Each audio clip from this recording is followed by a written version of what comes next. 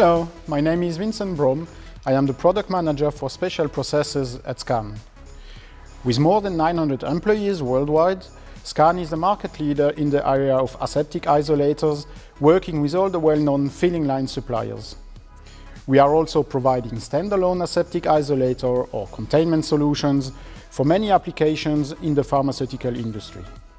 And we are providing complete solutions also with embedded and integrated processes in the isolators. Here is a nice example of what our process engineers have developed in our subsidiary Aseptic Technologies in Belgium. The Crystal L1 robot line is designed to perform automatically CGMP aseptic filling of high-value drug products in closed vials. Or here, the Variosys equipment we have developed with our partners where Bausch Ströbel managed to integrate two robots in a compact isolator. In all these applications where automated systems are required, robotic is a trend, or even a must. And inside isolators, the robot is even more king, as it is a good tool to improve sterility insurance, helping to avoid the use of gloves, for instance. Of course, the integration of robot in aseptic environments need a lot of precautions, and there are cases where conventional automated systems are preferred over six or seven axis robots. These depend on the space, the accessibility, the task to automate, and of course, the level of investment. But let me demonstrate you this through different examples. For the first example, you may have already seen or heard about the equipment SKAN has developed for the automatic dispensing of aluminium cans under aseptic conditions.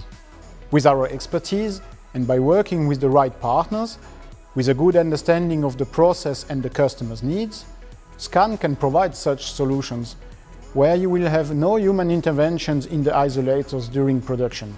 Again, human intervention in the isolator via the glove port is probably the weakest point for the sterility insurance. And that's where automation and robotics can help a lot. In the following video, the glove port are only included for the preparation.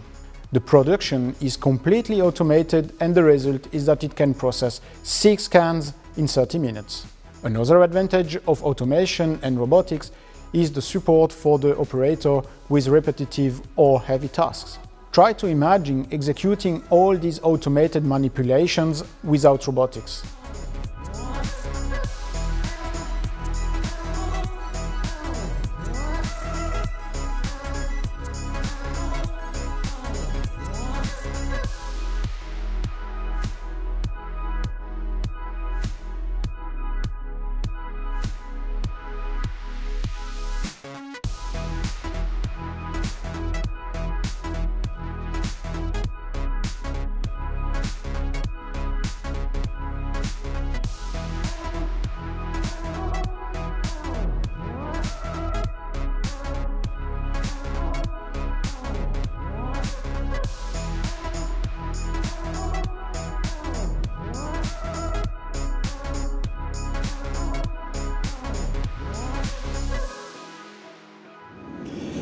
Could you imagine to manipulate these cans the whole day with the gloves in the isolator 40 times a day to remove with the gloves the lid?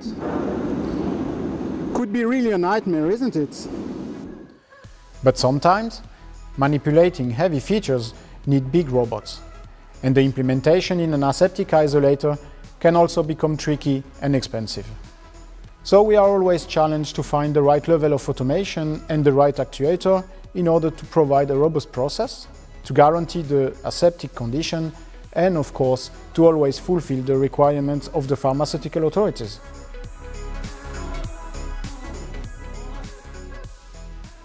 Let's have a look at what happened up from the dispensing equipment I just showed you.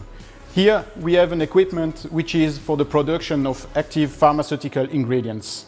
In other words, this is for the filling and dosing of the API in these aluminium bins. It is for powder handling under aseptic condition, so it is an aseptic toxic equipment. Also, the containers can be replaced by plastic bags or endless liners. But here, as you will see, it is an automated system and there is no robot. I am here with Matthias Zwick. He is the project manager of this equipment. Hello, Matthias. Hello, Vincent. Matthias, can you explain us a bit about your project and why there is no robot here? Yes, of course. Let's have a look. Yeah, sure. Here an operator brings several containers into the isolator through an airlock, which has a deco cycle of less than 30 minutes.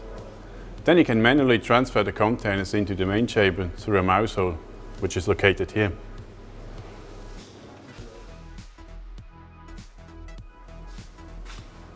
Once the containers are transferred into the storage area, the operator leaves the machine to perform the dosing like shown in the next video.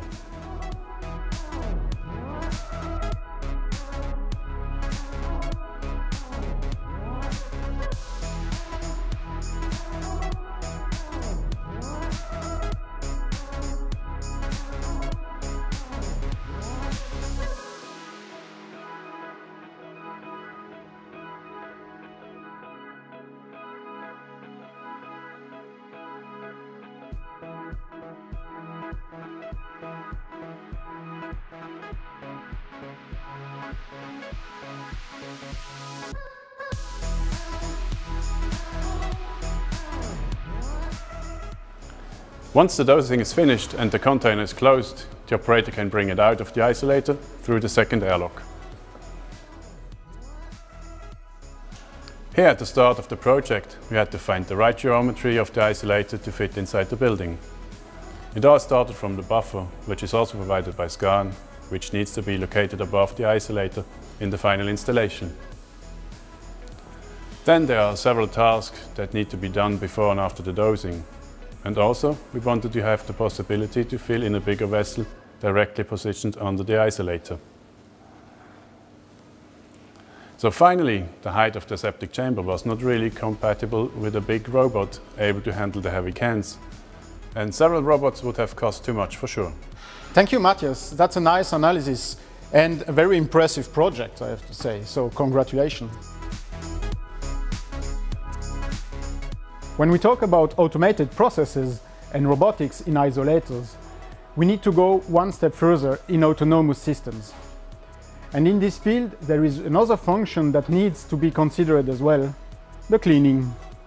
It's important to understand how we can efficiently remove the toxic products in the isolator, for instance, before we open the door and access the equipment, or how we can avoid cross-contamination.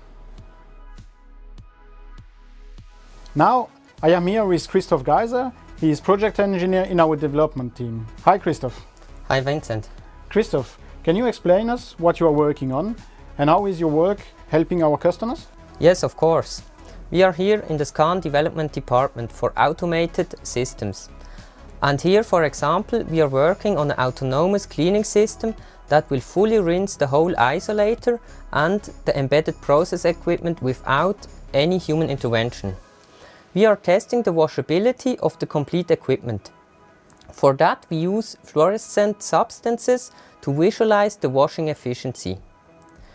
Let's have a look how it works. So first we take the riboflavin to spray it over all the surfaces. This fluorescent substance visualizes the potentially contaminated surfaces. After that we start the water and it sprays through the nozzles to clean all the process equipment inside and also the isolator surfaces. The fluorescent substance helps us to identify hidden spots or dead spots and we know where we have to re-engineer and optimize our system. We have different options to clean the isolator. We can change the nozzle or the position of the nozzle or we can move all the process equipment. Wow, cool. And now the isolator is clean and you can open it for the next batch, correct? Yes, of course. The isolator is clean and safe now. And another advantage of this fully automated system is that it is also repeatable all the times. That's cool. That's very cool. Thank you very much, Christoph. It's very nice to understand that with the robotic it's not just the robots, but all the functions around the robots. Thank you very much, Christoph. You're welcome, Vincent.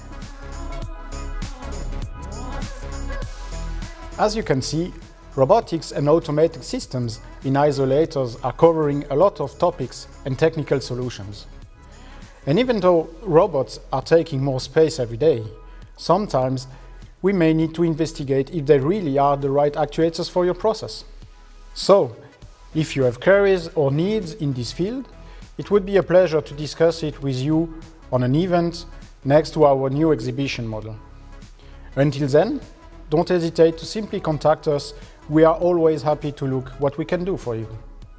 So thank you and au revoir.